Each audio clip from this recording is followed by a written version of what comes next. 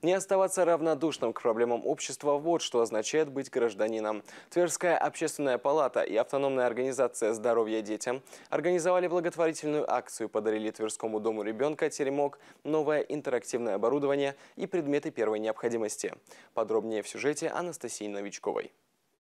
Они такие же, как и мы. Также радуются теплу, хотят быть здоровыми, счастливыми и любимыми. Только живется им труднее. Дети с ограниченными возможностями требуют постоянного ухода и заботы. Им ее нужно чуть больше, чем другим детям. Тверской дом ребенка «Теремок» специализируется на лечении и профилактике детей с различными патологиями и проблемами со здоровьем. В учреждениях ведется большая педагогическая работа, учитывая индивидуальные особенности детей разного уровня развития. К сожалению, бюджетное финансирование не покрывает всех необходимых расходов на содержание детей в доме ребенка. И только благодаря спонсорской помощи и благотворительности дети не испытывают дефицита в самом необходимом. Общественная организация «Здоровье детям» не осталась в стороне и помогла обеспечить детей новым интерактивным оборудованием. Мы привезли а, подарки. Это сенсорный ковер а, с прожектором, средства гигиены, детское питание. Э, это поможет им в развитии, для, потому что о важности здоровья детей говорил неоднократно уже наш президент,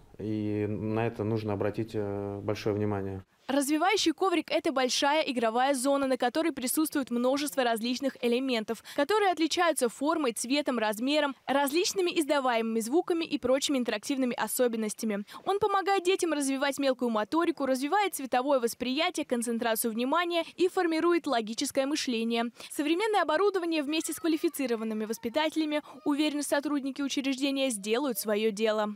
Вот такая забота общественников о здоровье э, детям очень важна действительно. Э, и подход, э, скажем так, персонифицированный, именно исходя из нужд учреждения, тоже очень важен. Я уверена, наши дети будут радоваться этому звездному небу. Это действительно очень хорошая современная методика. Ну, а питание для малышей грудного возраста, оно всегда тоже очень актуально. Каждая группа в теремке имеет свою тематику в зависимости от специализации. Дом ребенка рассчитан на 65 мест. Общее количество детей ежегодно достигает 130 человек. Основным результатом деятельности специализированного дома ребенка считается улучшение социальных показателей, а именно возвращение детей родителям, передача их на усыновление в приемные семьи под опеку. Как говорил Ральф Эмерсон, американский поэт и философ, сколько в человеке доброты, столько в нем и жизни.